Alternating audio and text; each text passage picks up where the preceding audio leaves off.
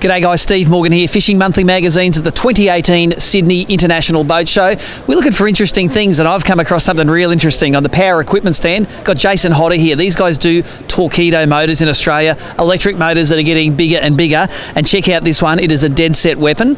Around 20 horsepower, it's called the Cruise 10. Jace, tell us about how it works.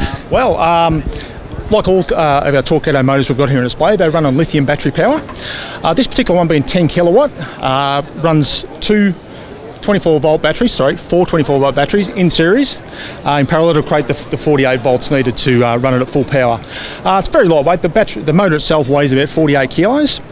Uh, as with all Torqeedo, very quiet, very safe, no fuel, no servicing, and yeah, this is the first time we've had it on display, so we're pretty excited to show it. Now they are a good-looking Torqeedo. As far as Torqeedos go, it's one of the best ones we've seen. And look, the, the story I love about these motors are the, the guys at Sanctuary Cove. You are saying the security guys have been using them. They put thousands and thousands of hours on them, and it actually saves them money. These motors aren't cheap to buy. It's around 25 grand for the bat- lithium batteries and the motor itself. But if you use them a lot, they pay for themselves in no time. Tell us us that story. Oh, absolutely. Well, Sanctuary Cove now have been running on their uh, patrol boats up there, the, the, security boats, for about, I think, about seven years now.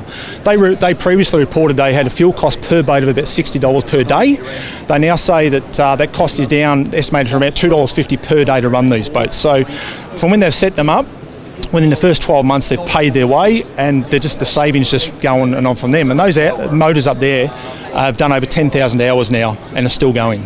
So it's been a great result. That's testament to the quality of these European built motors. What I want to do is I want to see one of these go to a Bass Electric Series event and really tear the field up. So Jason thanks for showing us through that uh, this is going to be on display at the Sydney Boat Show all weekend. Yes thank, thank you very much